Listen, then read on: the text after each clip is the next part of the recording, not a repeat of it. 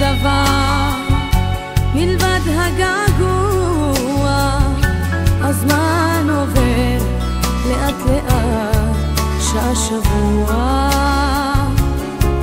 כבר שנה כמעט והעולם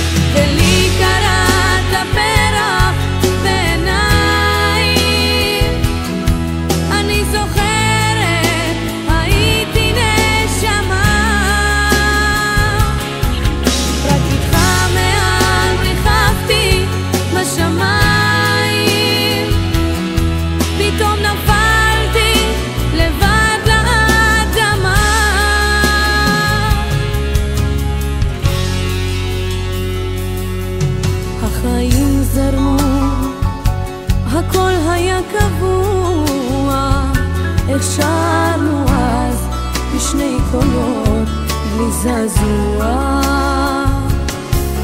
והיו לילות של צחוק ושעשוע, אבל עכשיו יש לקולי מיתר קרוע.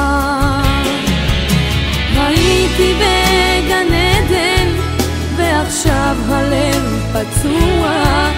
זה סיפור כל כך ישן